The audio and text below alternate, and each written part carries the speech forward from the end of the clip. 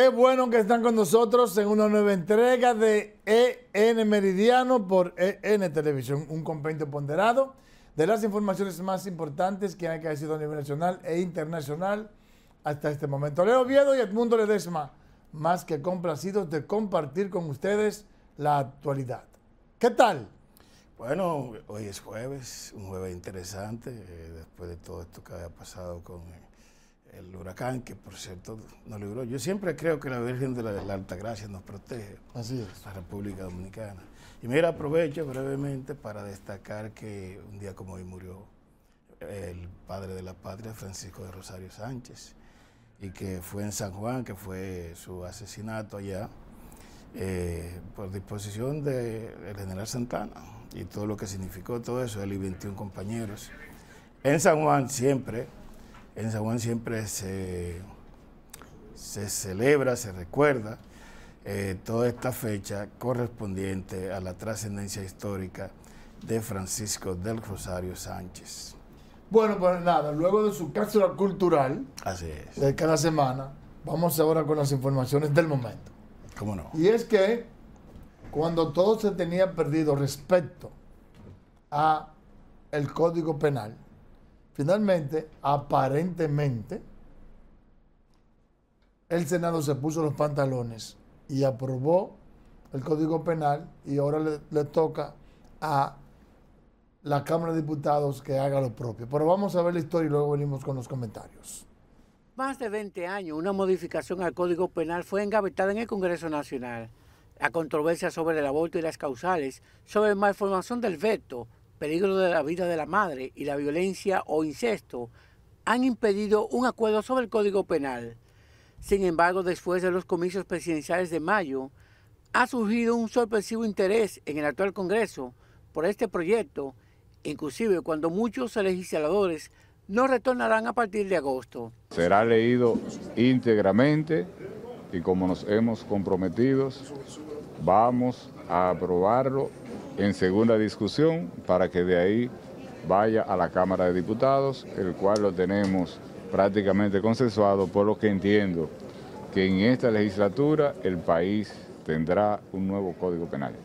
En la Fuerza del Pueblo se cuestiona que el Senado decida aprobar este miércoles el proyecto de Código Penal. Eso es para quitar la atención del tema de la, de la Cámara de Cuentas, de la reforma fiscal.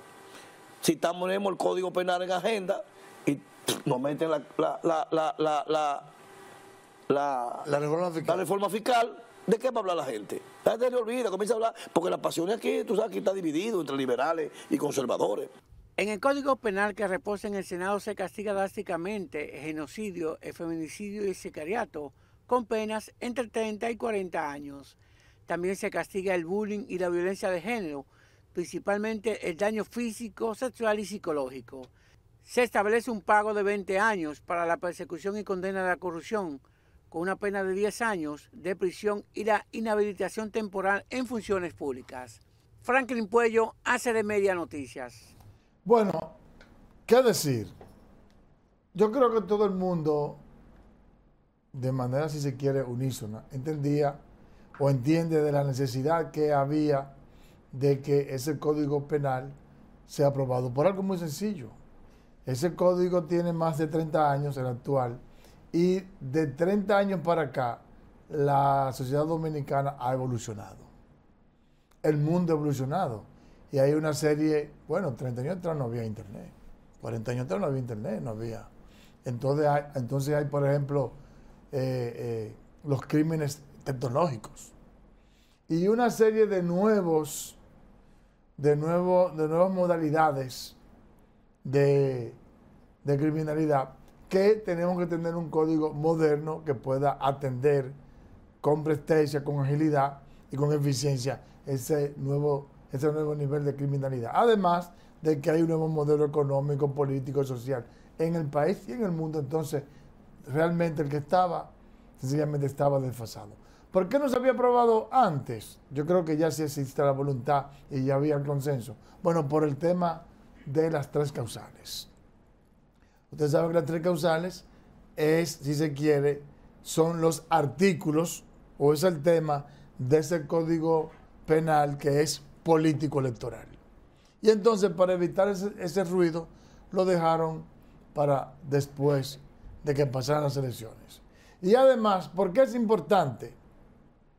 Eh, y yo apruebo que se haya aprobado este código, porque la República Dominicana, y ya el presidente de la República lo puso en agenda, se aboca a la discusión de una cantidad importante de reformas. Entre ellas, la reforma fiscal, la propuesta de reforma constitucional, la propuesta de el Código Laboral, la propuesta de la Ley 87-01, la propuesta del agua, el fortalecimiento de la administración pública, una nueva reforma a la ley de partido político, una serie de reformas que todas son importantísimas. Entonces, si uno se quita el ruido y ya pasa esa página del Código Penal, a mí me parece que es maravilloso para que entonces el país se pueda concentrar, ya teniendo un código moderno, en la discusión y aprobación de las otras reformas.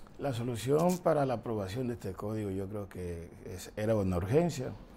Hemos tenido a destiempo más de 20 años en el debate de si sí o no. Creo que fue fundamental por las luchas internas que se producen aquí en la República que pasara el proceso electoral para esta aprobación, porque aquí hay una guerra que se ha producido con el tema de las causales, la voluntad de la iglesia, por el lado de las iglesias, y los partidos políticos que prefieren eludir el combate. En todo caso, a mí me sorprende si que esta última decisión, eh, una aprobación fue sin lectura y la otra eh, con una lectura incluso difícil, por lo que estaba escuchando. Entonces hay una serie de temas que pudieron ser más discutidos y habrá tiempo como para modificar o no, porque evidentemente eh, fue sorpresivo que tan rápido se estuviera haciendo la presentación. Uno, uno ve, chequea los partidos políticos eh, yo veo que Maldonado hace una queja interesante, pero Dionis Sánchez está en el, como de los propulsores del proyecto. Félix Bautista me parece que decidió no asistir, un hombre que no sale del, del Senado. En definitiva, hay un comportamiento irregular, impropio de la clase política y que se refleja en el Congreso y vamos a estar a la espera de las siguientes discusiones. Bueno, mira, los proyectos de esa envergadura siempre tienen eh, diferentes visiones y no todo el mundo está conforme. Ahora, estamos hablando de un código que se ha discutido por 20 años y que supuestamente el único impasse que había eran las tres causales. Bueno, pues se decidió eh, aprobarse las tres causales, que de por sí, que de por sí, Milton Rey Guevara, es presidente del Tribunal Constitucional, para muchos el que más sabe sobre temas constitucionales del país, o por lo menos es una autoridad. Digo que para aprobar las tres causales hay que modificar también la Constitución. Pero todo el mundo lo sabe. Ok, entonces yo creo que se hizo lo propio. Luego las tres Además, la cultura dominicana, esa es una gente 2030 de los LGTB y esa gente que quieren importar una serie de temas culturales propios de Estados Unidos y de esos países desarrollados que son, que ven, eh, eh, ven el asunto de, de, la sexualidad de una manera muy liberal, como no la vemos nosotros. Entonces, acorde a la cultura dominicana, se hizo lo que se tenía que hacer. Pero lo más importante es que ya nos, nos dimos un código que necesita la República Dominicana. O yo espero que detrás de esa aprobación no sea lo que dijo Rubén Maldonado, de que ese es un plus, que es un allante que para eh, entretener a la gente por el tema de la ley de reforma fiscal, que es bastante difícil. Y yo espero que ciertamente ahora cuando vaya a la Cámara de Diputados, eso se apruebe. Dicho sea de paso, que hay unos silencios que se están produciendo. Yo recuerdo que había temas que aparecían los grandes intelectuales, sobre todo del derecho, porque eso de que no merezca una sanción eh, el Estado, ni los ayuntamientos, ni las iglesias. Y yo recuerdo que antes uno tenía a los castillos, que uno tenía a Euclides Gutiérrez en su tiempo, y una serie de gente abordando los temas de profundidad. Y no he sentido como que hay esa participación de parte de sectores que también deben. Bueno, pero de por sí yo no he visto una reacción tan aguerrida. Ha habido, se han colgado una que otra eh, reacción en, en Twitter y cosas así, pero no he visto una reacción tan agresiva de parte de las feministas. Ellas ya fueron, eh, y hicieron un montaje frente al Congreso el otro día. Pero evidentemente están ocupadas porque están nombradas. Eh, es un problema eso. Sí, pero ellas hicieron su presentación. Ahora, Farideh Raful, que hay que recordar que Farideh Raful es eh, defiende las tres causales. Ella mantuvo eh, su posición. No, la que ella varió fue la de la deuda. Nada, nada, sí, Sí. es cierto. Pero hay que destacar Pero ha sido que coherente. en esta parte ha sido Sí, coherente sí. porque mantuvo su posición de eh, no, no votar porque no están estipuladas las tres causales en ese código penal. Lo propio hizo Iván Lorenzo que dijo que aunque está de acuerdo con que el código es bastante moderno y que es necesario, pero que de alguna manera eh, hay eh, una eh, indefensión de la mujer y por eso él no va a votar por el código. Pero reconoce que el código es necesario. Pero mire, hay otra cosa. También se dice, esta gente son mala, se dice que Farid en parte no votó, no solamente por ser coherente con el tema de las tres causales, sino porque a ella le prometieron en las negociaciones cuando se hicieron para que ella dejara la candidatura a la senaduría y se la cediera a Guillermo Moreno, que a ella le iban a dar el Ministerio de Relaciones Exteriores. Mm. Pero parece que el presidente se lo prometió a otras personas también. Pero es Entonces que- ahí se habla de que puede ser que te lo den a Valentín, puede ser que te lo den a Estrella, puede que se lo den a Paliza. Fíjate que a Paliza no ha vuelto a el Ministerio de la Presidencia. Es porque posiblemente él va a terminar siendo el ministro de Relaciones Exteriores. Y a Faride le van a dar supuestamente todo eso es especulación, ¿verdad? Yo gocé esta mañana viendo, viéndote a ti a Berkis. Yo lo aceché esta Entonces, mañana. Que a ella la van a mandar para el Ministerio de Trabajo. Otro, otro golpe para Faride. No, pero eso es especulación, porque es que ella tiene ese principio y tú sabes que el presidente se le estaba jugando con ese proyecto.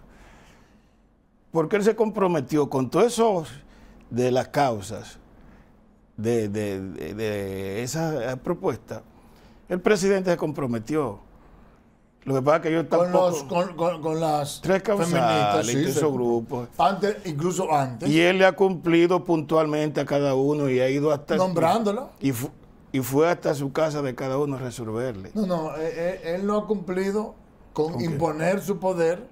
No, yo te digo, es la gente de Marcha Verde, la gente de ese No, no, equipo. tú estás trabajando. Y bien, y cómodo. Entonces Tú no ya ves que están callados él sabe cómo maneja esas situaciones.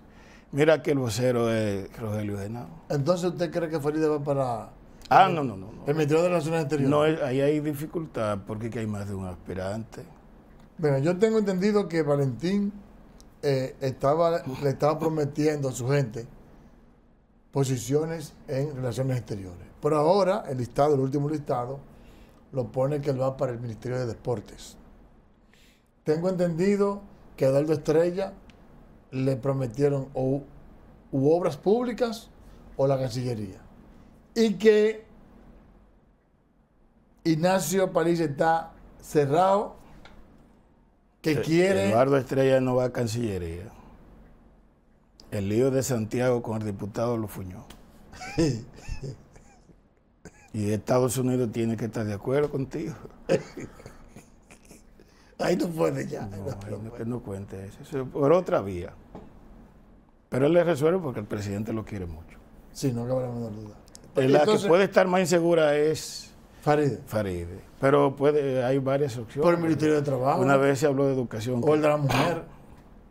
que tampoco era una posición para Faride, educación. No lo era. Ah, pero a ella le puede gustar educación. O por ella que no, es el, es el gobierno, pero ella no, tampoco. Porque además tú sabes que su papá, eh, en su momento, se habló, se habló o de darle cultura, pero di que él dijo que no. No se iba a meter en esa No, él se fue. O educación. Sí, pero a ninguno de los dos les tocaba eso. Entonces tú crees que ella le toque trabajo.